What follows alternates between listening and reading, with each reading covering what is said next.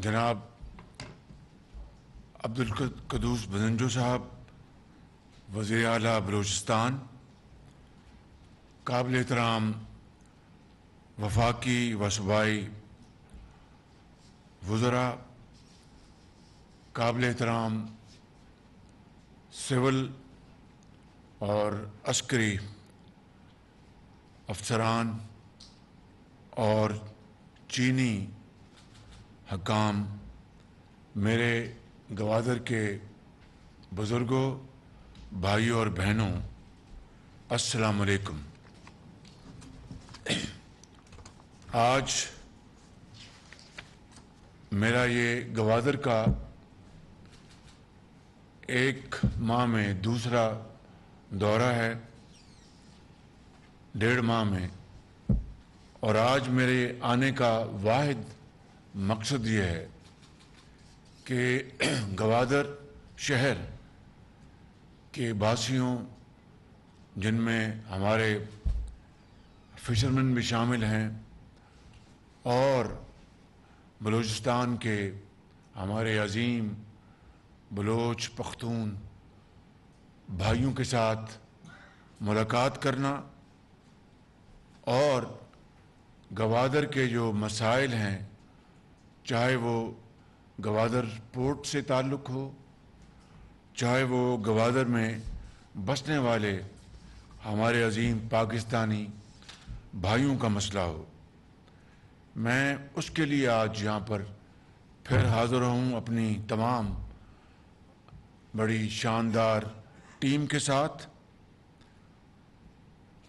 और ये कहना चाहता हूँ मैं आपको कि जब तक गवादर के बसने वाले और बलूचिस्तान के आवाम, जब तक के उनके जो बुनियादी मसाइल हैं, उनकी जो आपकी जो ज़रूरियात हैं, जब तक आप तक नहीं पहुँचती और आपको एक कल भी इतमान नहीं मिलता तो बाकी तमाम तरक्याती काम जो हैं, वो फिर बेमानी रह जाएँगे।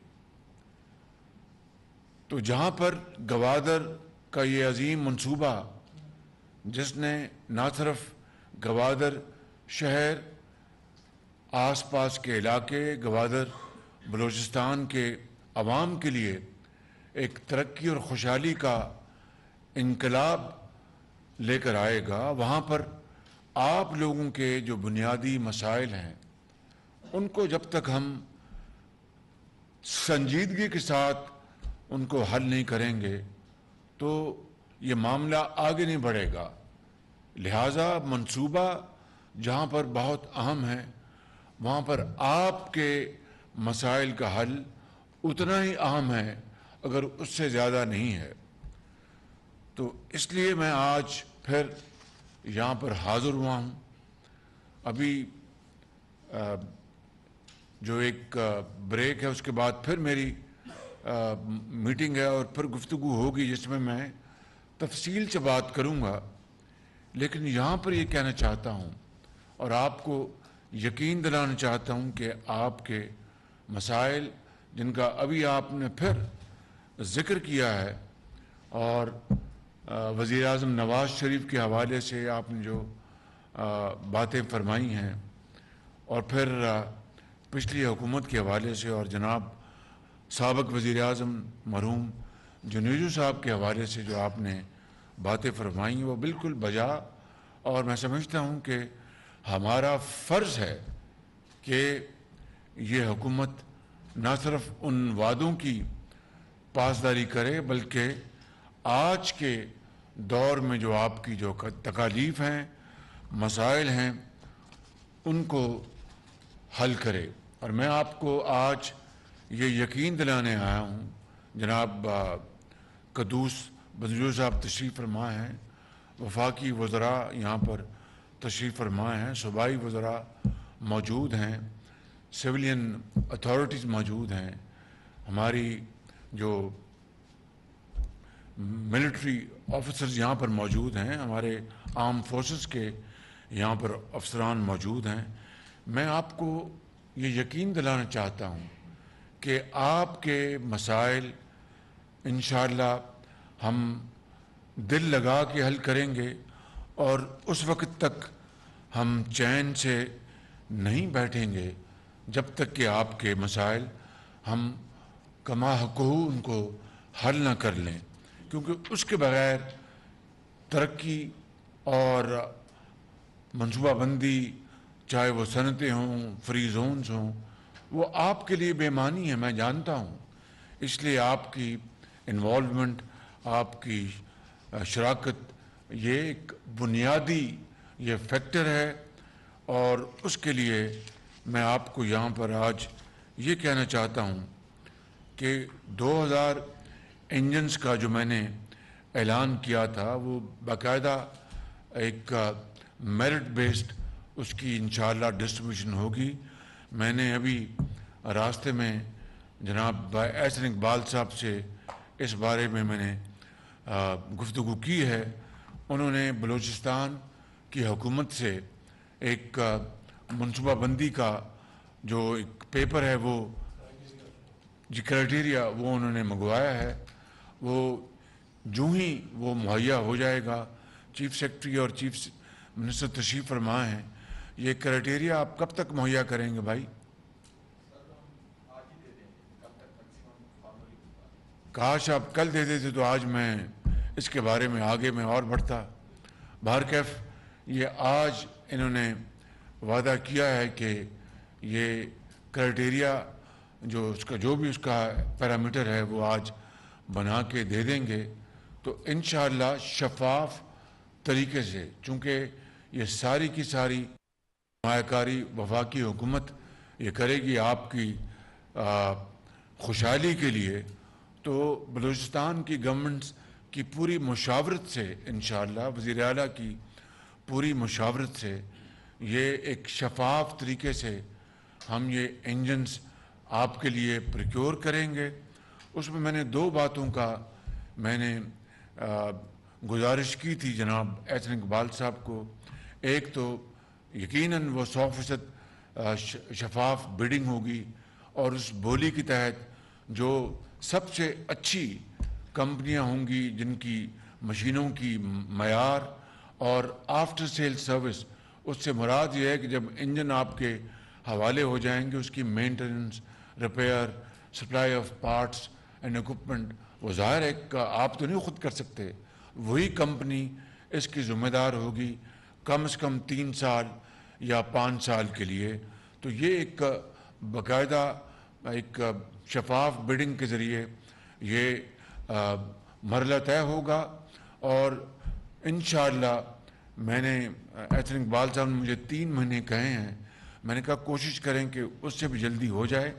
जो भी हमारे जो पेपरा रूल्स हैं, उनकी पासदारी करते हुए कवानीन की इन मैक्सिमम तीन महीने में इन इन इंजन्स की आपको तरसील शुरू हो जाएगी और इन आपको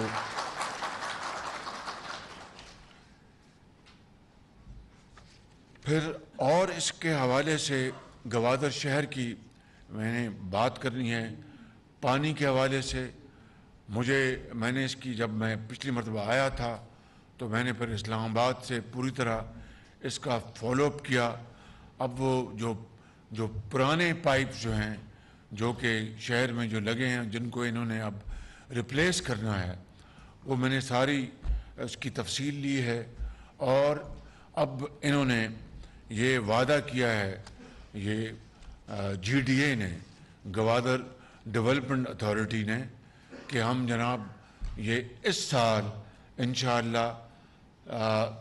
सितंबर में ये पाइपलाइंस नई बिछाकर पानी की जो फ्राहमी है वो इन उसकी उसकी शुरुआत हो जाएँगी। इसी साल सितंबर में ये काम बहुत पहले हो सकता था, लेकिन अब माजी में जाए और रोने धोने से कोई फ़ायदा नहीं।